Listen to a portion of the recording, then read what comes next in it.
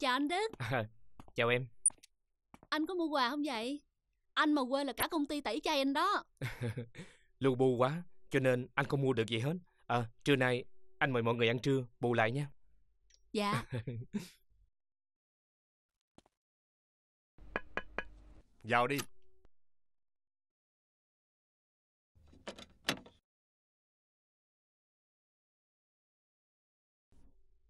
Chào chú Cháu ngồi đi.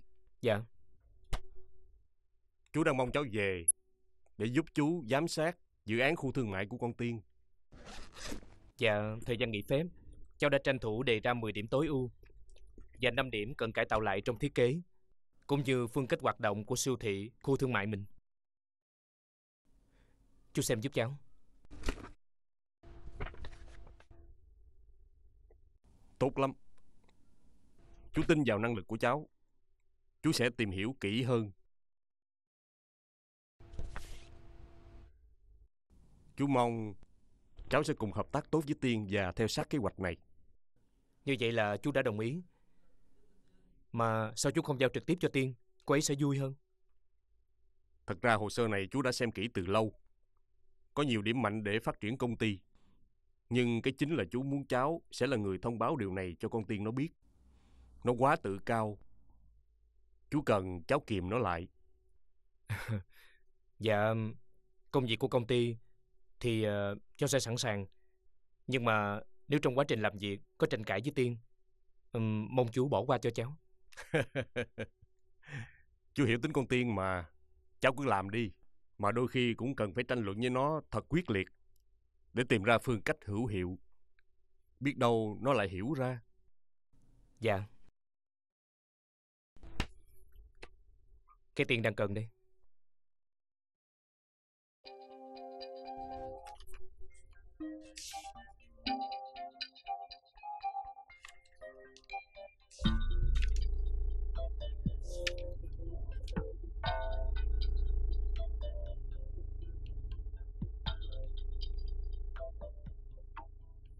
Đúng là cái đồ chết nhát. Sao lại cho án binh bất động? Tụi trẻ bây giờ rất thích hàng đó. Vừa rẻ là vừa ngon. Hàng đang thiếu. Cần bơm hàng vào ngay. Nắm bắt thời điểm này là thích hợp nhất. Anh Chí, Tôi không đồng ý với quyết định này. Tôi đang rất cần tiền. Để đẩy các hạng mục xây dựng lớn. Giá sắt tăng cao. Nguyên vật liệu cũng tăng theo. Ông tưởng là tôi thích tăng tiền lắm sao? Thôi được rồi. Tôi sẽ quyết định vụ này. Không. Tôi không tin là bị lộ. Cứ để mọi chuyện tôi lo. Chuyện này, cắt ông ta ra khỏi đường dây. Tôi muốn làm một mình. Tôi biết rồi.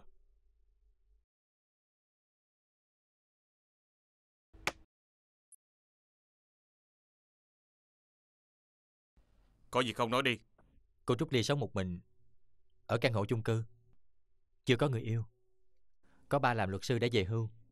Hiện đang sống ở Đà Lạt. Thỉnh thoảng cô ấy hay về thăm.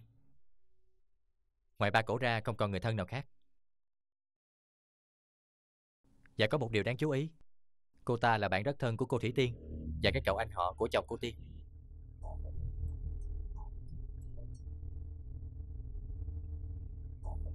Thì ra là vậy. Tôi sẽ cùng làm việc với anh với một điều kiện. Chúng ta có quyền nêu ý kiến khách quan, cùng thảo luận để đưa ra phương án tối ưu. Nhưng anh không được thay đổi bố cục và phương châm chính trong đề án của tôi. Ngay cả những sai sót trong đề án Tôi cũng không có quyền sửa à Tôi đã nói rồi. Anh phải tôn trọng ý tưởng ban đầu của tôi. Ngược lại, tôi sẽ tiếp thu ý kiến của anh và sẽ xem xét ừm, có nên sửa đổi hay không. Vậy quyền và nghĩa vụ của tôi đâu Anh có quyền được nói, nêu ý kiến, tôi không cấm. Còn nghĩa vụ Anh sẽ báo cáo lại với ba tôi trình tự tiến hành đề án của tôi và anh ra sao.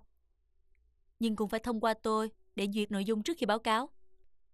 Có nghĩa là Nhất nhất việc gì Cũng đều theo sự chỉ đạo của Tiên Anh có thể từ chối mà. Anh cứ gặp ba tôi xin chuyển qua công việc khác, nếu anh muốn.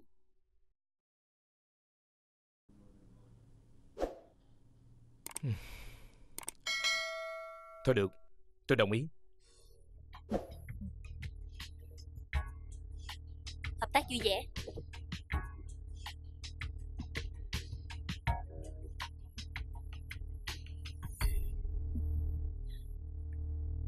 Cô sao vậy? Em có sao không? Để anh đưa em xuống phòng y tế nghe Ờ, để tôi đưa cô xuống phòng y tế. Ờ, ờ, không cần đâu. Tôi chỉ hơi mệt. Tôi muốn ở một mình. Được, cuối giờ tôi đưa Tiên về. Ờ, vậy tôi không an tâm để cô đi một mình. Thôi, tranh thủ nghỉ ngơi đi. Tôi không làm phiền cô nữa. Cô tranh thủ nghỉ ngơi đi. Cả ngày hôm nay làm việc mệt quá rồi.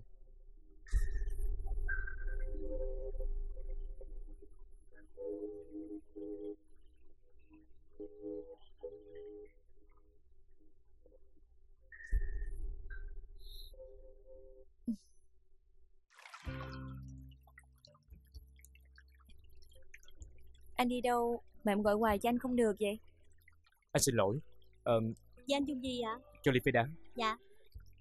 Máy có báo cuộc gọi nhỡ. Nhưng mà anh bận quá không gọi cho Ly được. Khi nãy Ly gọi cho anh nói là có việc gì quan trọng cần nói có đúng không? Ừm, Dạ có. Ừm, Nhưng mà em cũng không biết nói sao nữa. Ừm, Chỉ là em muốn anh tư vấn cho em thôi à. Ừ. Có chuyện gì Ly cứ nói. Anh giúp được anh sẽ giúp. Ừm, Là chuyện của Tiên. Ờ, Dạo này anh thấy Tiên ở trên công ty như thế nào? Ừm, Ý em là về sức khỏe. Anh thấy Tiên có ổn không? Không ổn. Cô vừa mới bị choáng. Đang nằm trên phòng làm việc. Ờm, có thể là do làm việc căng quá mà không lo nghỉ ngơi. Nếu mà Tiên cứ bị như vậy hoài thì có thể nó sẽ bị điên quá. Tại sao? Em không biết sao nữa. Nhưng mà nhiều khi em thấy Tiên giống như người bị mộng du gì đó. Ờ, hay là ảnh hưởng tiểu thuyết trinh thám quá mức hay sao á. Ừ, nói chung là có diễn tả lắm. Là sao? Anh không rõ.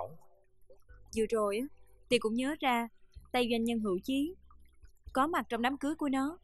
Rồi tiếp theo á là Tiên cứ khăng khăng quả quyết. Ừ, là anh ta có liên quan đến cái chết của anh Hưng. Tiên nói là sẽ tiếp cận anh ta Ờ, Nhất định phải tìm ra bằng chứng. Chứng minh anh ta đã hãm hại anh Hưng Vì vậy á Mà Tiên thường xuyên ghé tới quán bar uống rượu Cặp kè với anh ta. Em thấy lo lắm. Em như bác gái á Có khuyên ngăn như thế nào á Thì cũng không nghe hết á. Có thể là Tiên đã phát hiện ra điều gì đó bất thường. Anh nghĩ là Tiên hoàn toàn tỉnh táo hả? Tiên có nói gì sao á? Mà Tiên lại quả quyết chính là người này không? Tiên nói rất mập mờ. Rồi có lúc á Lại nói là chiếc nhẫn của anh ta Giống với hình khắc trên mặt của sợi dây chuyền đã mất. Ờ, Nó kết luận là anh ta có liên quan tới một gã đàn ông có hình xăm trên cánh tay. Tiên còn cho rằng á Là người đó đã tấn công anh Hưng Với lại Tiên ở trên núi Có người muốn làm hại tôi. Là ai? Anh không biết đâu. Anh mau đi đi.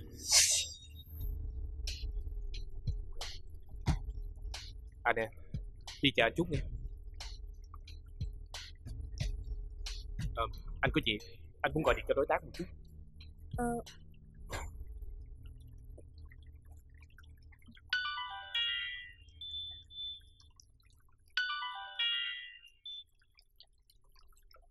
Dạ con nghe ba Tiên đang tiếp cận tay chi. Cô ấy sẽ gặp nguy hiểm. Nếu hắn ta biết đang bị cô ấy theo dõi. Tôi muốn có người theo dõi bảo vệ cô ấy. Không được Đàn em của hắn rất đông Lại có nhiều tai mắt Chúng ta vẫn chưa thể kiểm soát hết Để hắn phát hiện thì xem như kế hoạch của chúng ta thất bại Nhưng mà Cậu có còn nhớ vụ cá độ đá banh Và tổ chức đánh bạc của tay tấm ràng không Cậu kiên trong vụ đó Đã đến khai báo vì sợ tài chí Cho nên mới khai man chứ thật ra cậu ta cũng là nạn nhân của tay Chi. Qua đó, chúng ta nên cẩn trọng với tay này hơn, vì hắn có rất nhiều thủ đoạn. Vậy còn sự an nguy của Tiên thì sao? Phủ là con gái của ông cha, ông ta sẽ không để con gái mình gặp nguy hiểm. Có khi nào chúng ta quá chủ quan trong việc bảo vệ nhân chứng không? Cậu cứ việc làm đúng vai trò của mình, đừng can thiệp quá sâu vào những chuyện khác, sẽ gây ra sự nghi ngờ đối với ông già. Những việc còn lại, tôi sẽ về báo cáo với chú Thăng, rồi mới quyết định. Được rồi.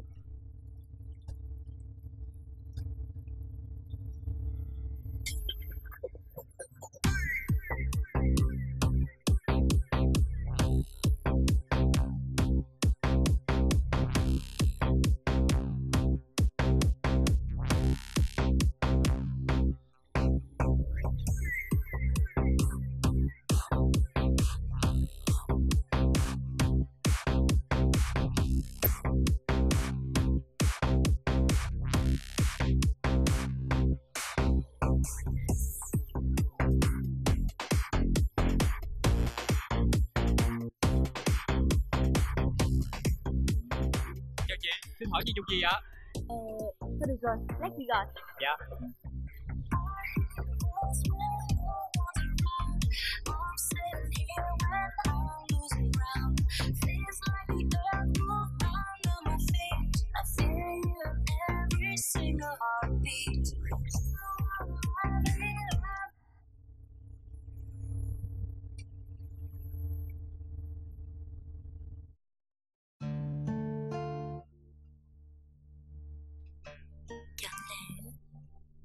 chuyện là do mình suy tưởng hay sao?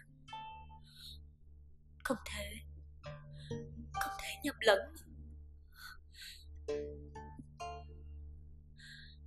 Tại sao Chí lại không đến quán ba đó nữa? Anh ta đã trốn đi đâu rồi? Giữa anh Hưng và anh ta có chuyện gì chứ? Tại sao sợi dây chuyền anh Hưng tặng mình lại có hình trái tim giống hệt của anh ta?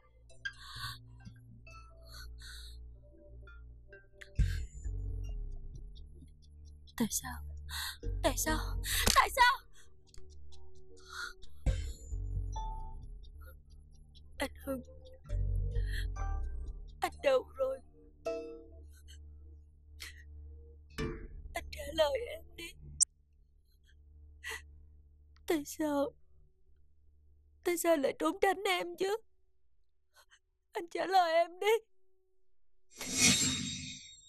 Anh à Sao lúc nào em cũng thấy anh dám mang keo lên ngón tay này vậy? Vết thương gì mà lâu nay vẫn chưa lành hả anh? Ờ, không phải đâu Nó lành từ lâu rồi Nhưng để lại sẹo Anh chỉ muốn giấu nó anh khờ quá à. Che sẹo, có nhiều cách để che mà.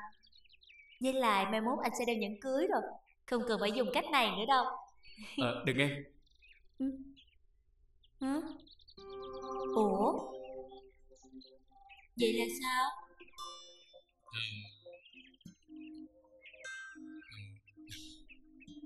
Thực ra anh chỉ muốn tập bất ngờ cho em trong việc cưới Không ngờ hôm nay Bị biết sớm rồi.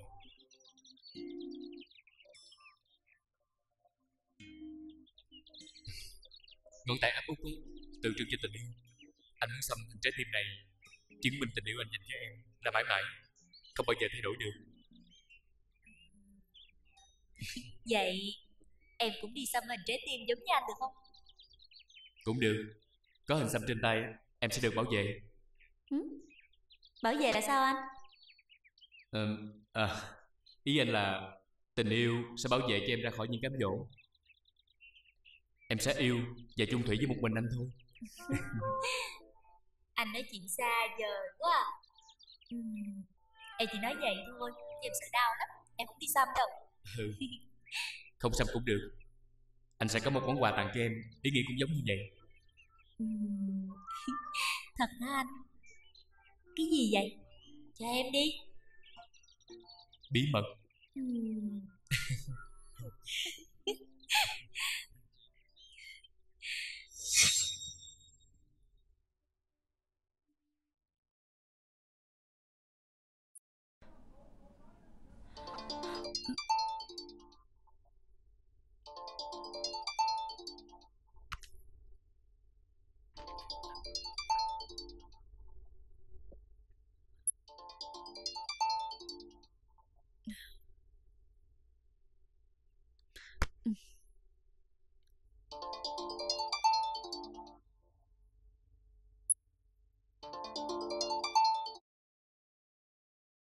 Anh biết bây giờ là mấy giờ rồi không?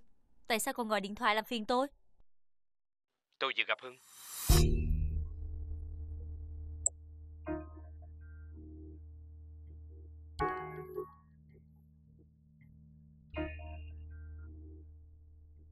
Anh nói sao? Anh chỉ gặp anh Hưng hả?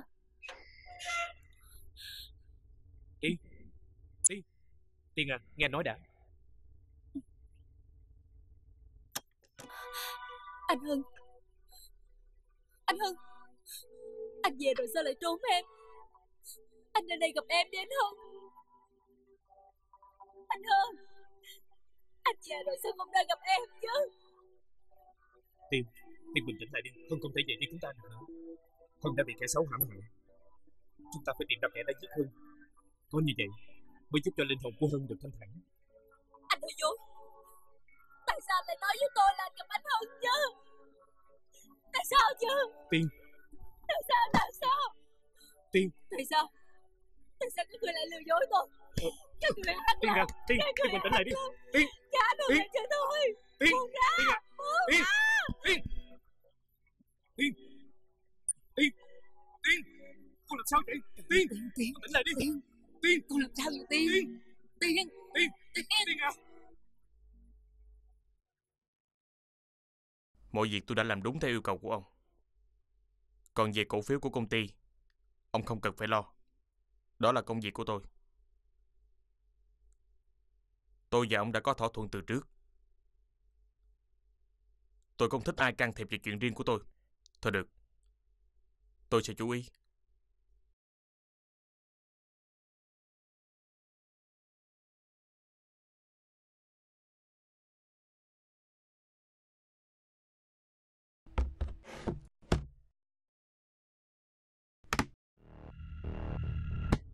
Tại sao chỉ có bao nhiêu đây thôi? Ông nói á, chỉ giao như vậy thôi. Số còn lại, chờ gặp anh rồi tính. Lão già nó thật rắc rối. Chân đất xa trời rồi mà còn yêu sách. Tại sao không biết nhìn gương con rể của mình chứ? Bây giờ anh tính sao anh? Tính cái gì? Xem ra không gặp thì không được. Bao nhiêu là chuyện, không muốn lo cũng không được. Chuyện anh giao, cô làm tới đâu rồi?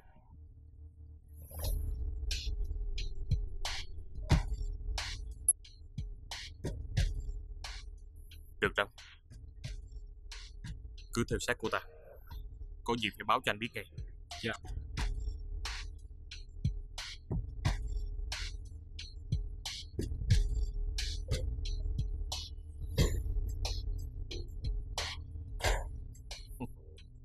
Cô tìm tôi cũng vì chiếc nhẫn này. Càng hay. Cô thích. Tôi sẽ chơi với cô tới cùng. Để coi ông già cô chống kiểu gì. Nè con, con ở nhà canh chừng nó cẩn thận để nội đi chợ mua cá lóc về nấu cháo cho nó ăn nha con. Dạ, À, nè Đức, dạ. nội thấy á hay là mình ngưng lại chuyện đó đi con. Dù sao á thì thằng Hưng nó cũng không còn. Nội cũng không muốn thấy con Tiên nó đau khổ thêm như vậy nữa. Mình đã đi đến bước này rồi. Chỉ trừ khi mọi chuyện sáng tỏ. Nếu không, linh hồn của Hưng sẽ không được yên nghỉ đâu. Mà bản thân Tiên cũng không sao thanh thản được đâu nội à.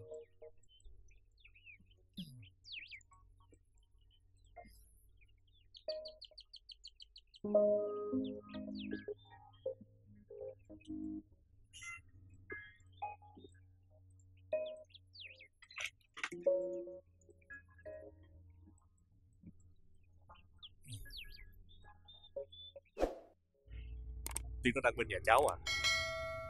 Vậy hiện giờ sức khỏe của nó ra sao? Để chú gọi cô tới ngay. Thôi vậy cũng được. Nhờ cháu và bác hai chăm sóc cho nó giúp. Hiện giờ chú phải đi lo công việc. Khoảng hai ngày nữa mới về. Việc ở công ty tạm thời gác lại. Chú về rồi tính.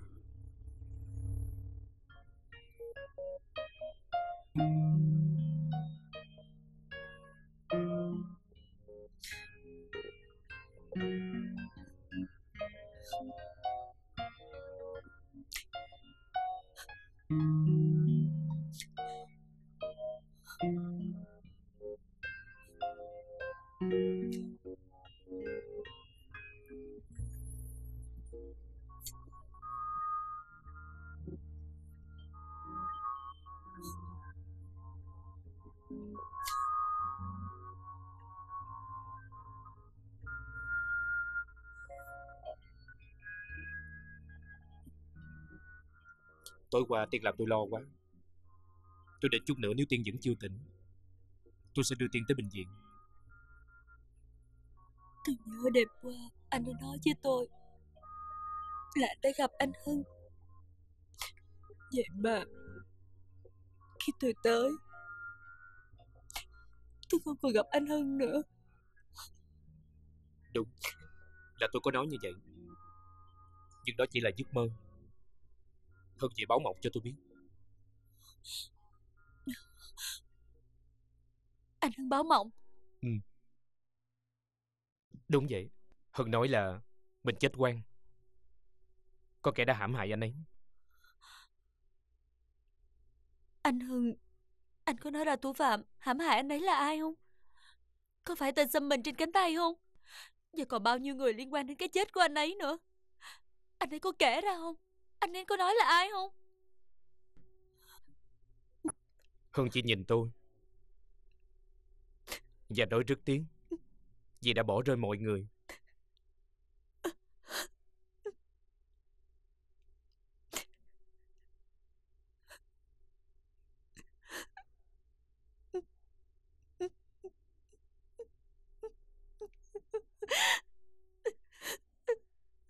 Và cuối cùng là Hân nhắc về két sắt Kết sắt Tại sao anh lại nhắc kết sắt làm gì? Có lẽ trong đó Cất giữ bí mật gì đó. Bí mật? Hân có nói cho Tiên biết Về mật mã két sắt không? Mật mã?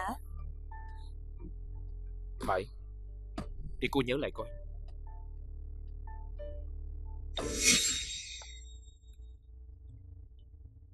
Em còn nhớ Quyển nhật ký mà hai đứa mình viết chung Lúc em còn học ở trường kinh tế không Ừ.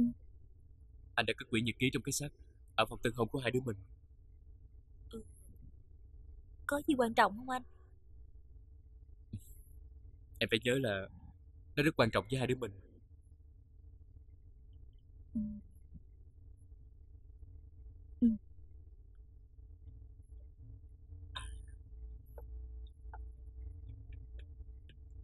Đây là mật mã. Em nhớ cho kỹ. Mật mã. Mật mã. Mật mã. Một.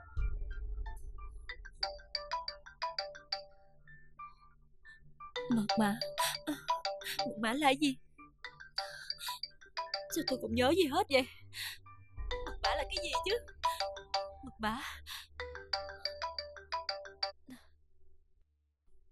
Alo.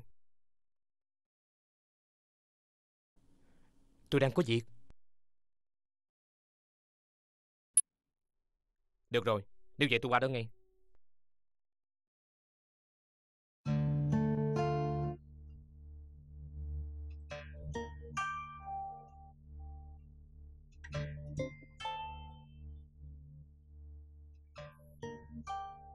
Ly hả? Tiên đang ở nhà anh. Anh có việc phải đi gấp. Bà nội vừa đi dạo rồi. Ly qua xem chuyện Tiên giùm anh nha. Ừ.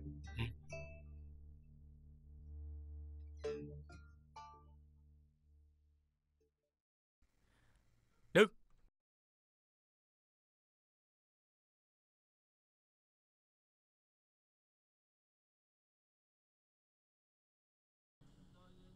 Có chuyện gì mà gọi tôi gấp vậy? Là gì vậy?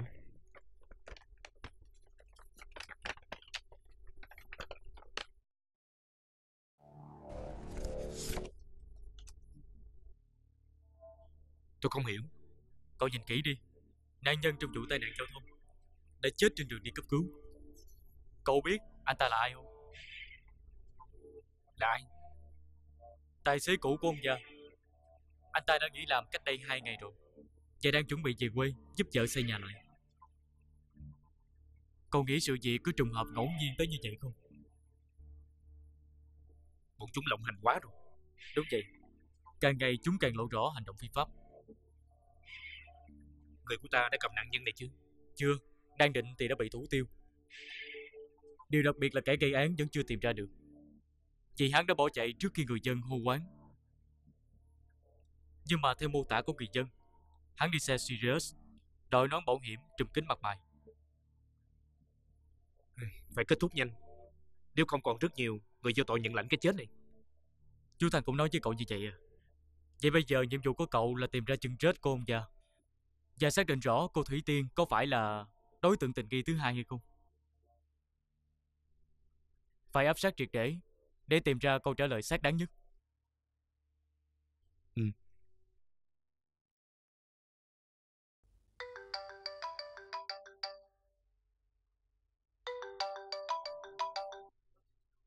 Con nghe nè nội.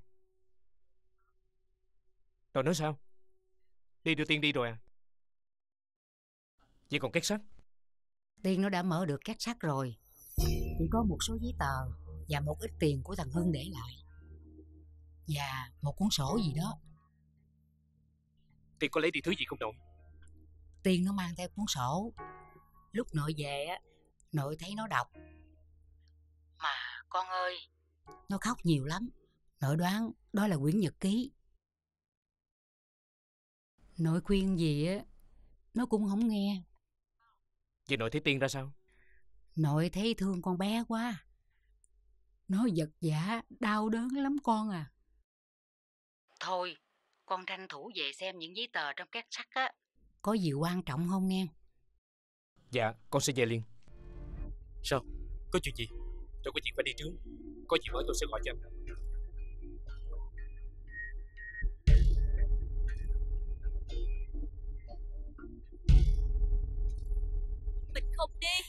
Ly bỏ tay mình ra. Mình đã nói là mình không muốn đi mà Ly đừng ép mình. Buông ra. Mình muốn Tiên á Nhìn vào sự thật đi. Tiên nhìn đi. Nhìn vào di ảnh của ảnh á Rồi Tiên hãy tỉnh lại đi. Không Không thể. Đây là sự thật. Tiên không thể nào mà trốn tránh sự thật mãi như vậy được hết á. Không phải như vậy đâu. Anh Hưng không có chết. Anh Hưng chưa có chết. Ly có hiểu không? Tiên à Tiên phải nhìn đi. Tiên phải can đảm đối mặt với sự thật. Đó là cách tốt nhất á, Để Tiên quên đi quá khứ. Tiên có hiểu không?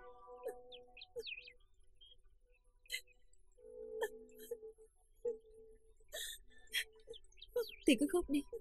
Khóc nữa đi. Khóc một lần rồi, Đem cuốn nhật ký này đốt đi. Tiên phải từ bỏ quá khứ. Phải sống thật lạc quan. Có như vậy. Anh Hưng mới an lòng được. Không. Anh Hưng chỉ để lại cái này cho Tiên. Tiên không thể đốt cho anh được. Liên đi ngăn cản Tiên nữa được không?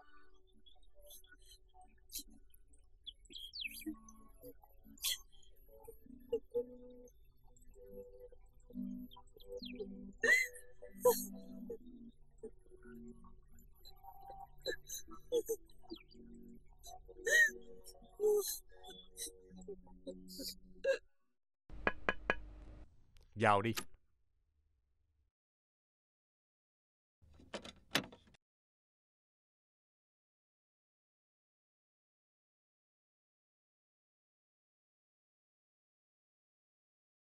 Có chuyện gì vậy? Dạ Chú ký duyệt kinh phí Để các phòng ban đi dự đám tang anh Tiến. Tuyến nào Dạ Tài xế của chú. Anh mới xin nghỉ việc cách đây hai hôm.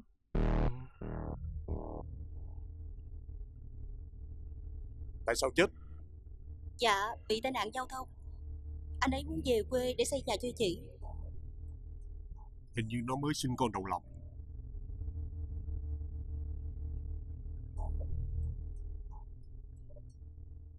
Cháu về bên phòng nhân sự. Nói họ thanh toán hết tiền trợ cấp cho cậu Tuyến Tăng thêm phần trợ cấp bậc 3 Làm ngay đề xuất tôi ký. Dạ. Đám tang tổ chức ở đâu? Dạ ở quê ạ. Vì anh bị tai nạn nên phải chôn cất sớm. Thôi được rồi. Đề xuất này tôi sẽ ký. Mang trao tận tay người nhà.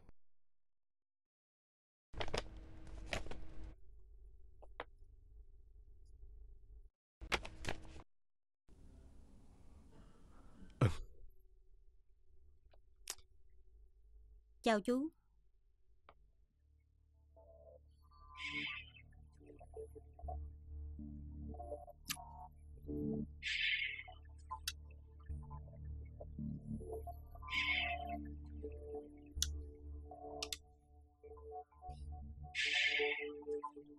Cậu qua phòng tôi gấp.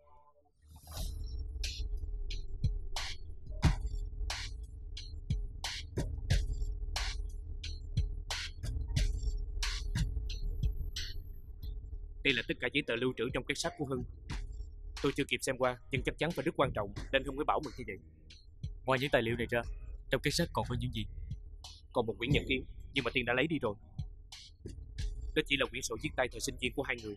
Tôi nghĩ nó không quan trọng đâu. Đừng có kinh suất như vậy. Kiểm tra kỹ Trong cuốn nhật ký đó còn viết những gì? Ừ, Tôi đang tìm cách tiếp cận. Cậu đi ngay đi Phải nhớ cẩn thận đó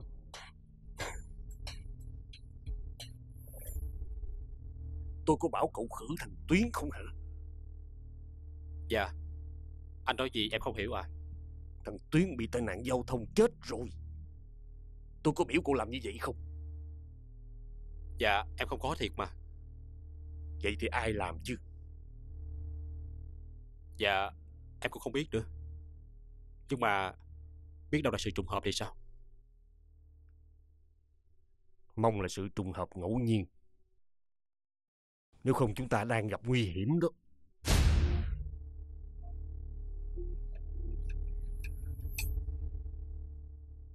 Bác trai gọi điện thoại về Nói là con Tiên đi công tác cùng.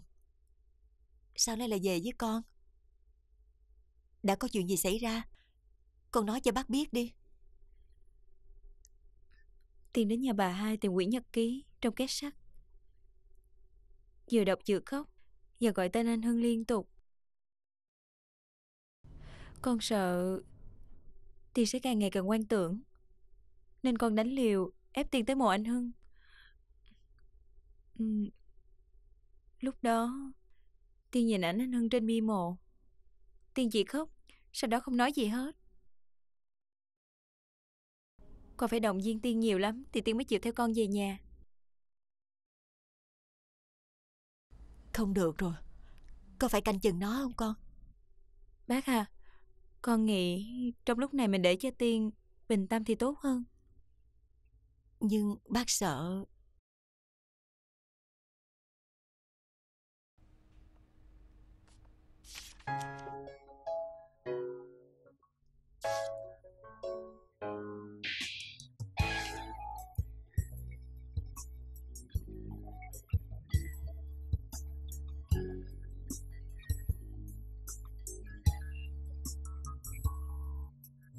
anh giờ đây tình yêu thương giờ đây là mây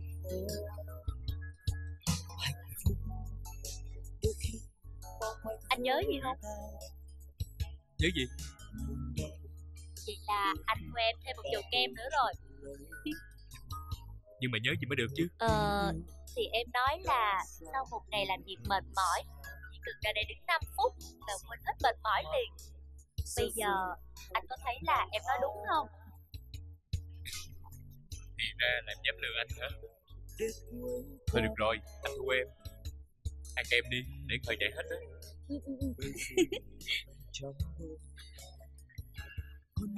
Vì ăn kem nên anh cũng bị lây rồi đó. Anh nhớ tên của từng cây kem và còn nhớ giá tiền của từng cây kem Nhớ rõ hơn công thức toán dạy cho sinh viên nữa đó. Thì uh, lên giảng Anh uh, cứ viết bài toán tính tiền kem Và tiền anh kiếm được hàng tháng nè. Rồi đặt giả thiết là có điều kiện Anh sẽ tìm ra thu nhập để dẫn em đi ăn kem một tuần 5 buổi hoặc là bao nhiêu cây kem trong vòng một tháng. Sao? Trời đất ơi anh vậy vậy ai học hả cô thì em học. Em đó lúc nào cũng nghĩ ra những trò nghịch phá anh không à.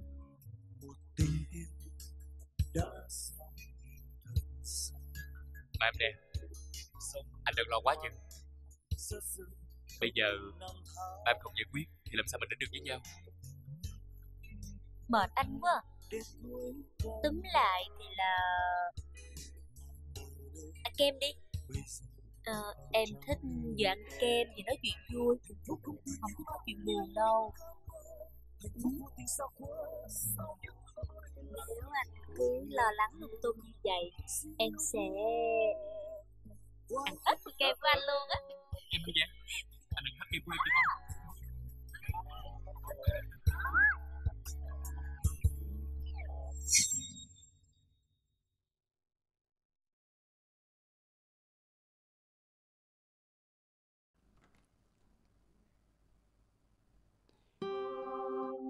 Hôm nay là một ngày vô cùng đặc biệt đối với tôi.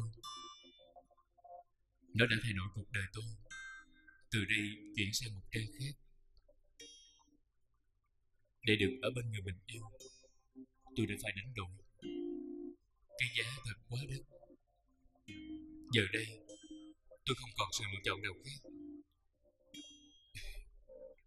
Tôi đã quyết định đánh đổi để được ở bên người mình yêu. Hay, giỏi lắm, chung tiền đi.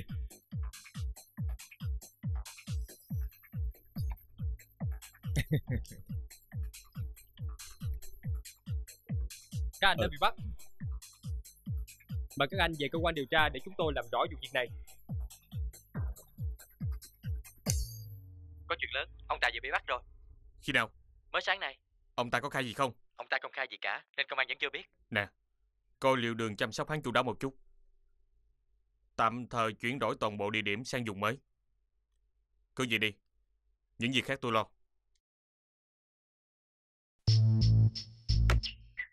Công việc phải như vậy chứ. Em phải cẩn thận xử lý mọi việc nghe. Đừng để lộ là mình chơi nó. Rồi, vậy nha. Anh về tới nhà rồi.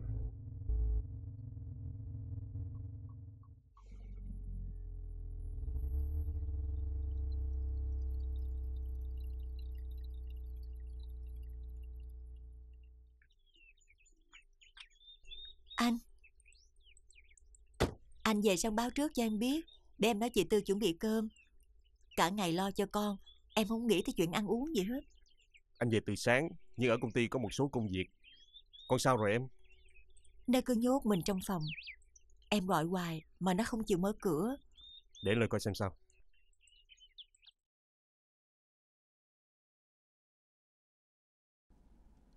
Ủa Ba mới về hả Ờ, Mẹ con đói quá à. Cả nhà mình ăn chưa mẹ À Để mẹ xuống bếp nói chị Tư chuẩn bị Dạ ba nghe cậu Đức nói, con qua bên nhà cậu ấy rồi bị ngất. Lúc đó ba đang đi công tác, không quay về được. Ờ Bây giờ con không sao nữa rồi Chắc tại lúc đó con mệt quá nên mới bị vậy thôi Ừ, không sao thì tốt rồi. Con nên nghỉ ngơi, ở nhà hai ba bữa cho lại sức rồi hãy đi làm. Dạ con biết rồi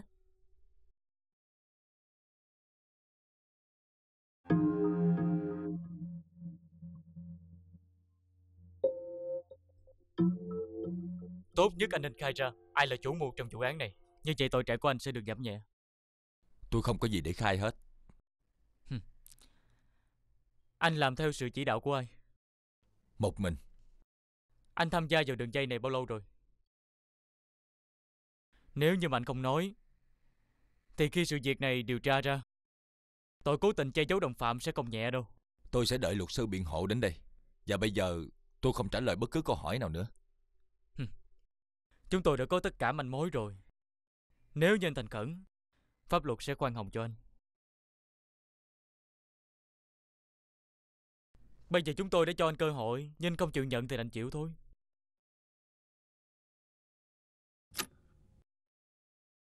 Chào anh. Sao rồi anh? Đây là hồ sơ đối tượng đã khai và ký nhận rồi. Cảm ơn anh. Chúng tôi có thông tin mới cho anh đây. Người của anh đã khai ra hết rồi. Tụi nó biết gì đâu mà khai. Đồng bọn của anh đã khai ra. Anh là chủ mưu. Chính anh đã điều phối đường dây cá độ tại quán cà phê Pizza Biển Xanh. Anh còn muốn chối cãi gì nữa không?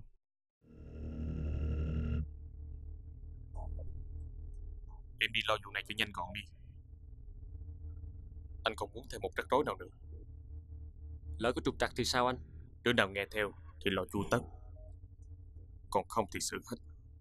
Tránh phiền phức vậy sao? Dạ